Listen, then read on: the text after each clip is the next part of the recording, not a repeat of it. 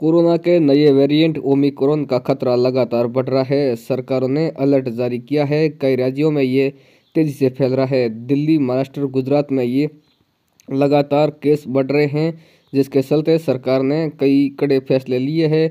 कई राज्यों में नाइट कर्फ्यू लगाया गया है। राजस्थान सरकार ने भी सभी के लिए वैक्सीनेशन अनिवार्य किया है। साथ ही भीड़ भाड़ वाले इलाकों पर भी अब नज़र रखाई जा रही है। सरकार अलर्ट जारी कर रही है। साथ ही वैक्सीन व सोशल डिस्टेंसिंग मास्क पहनने जैसी कई महत्वपूर्ण सुविधाओं व जानकारियों को ध्यान में रखते हुए कोरोना के इस खतरे से निपटने के लिए कई तैयारियाँ की जा चुकी है।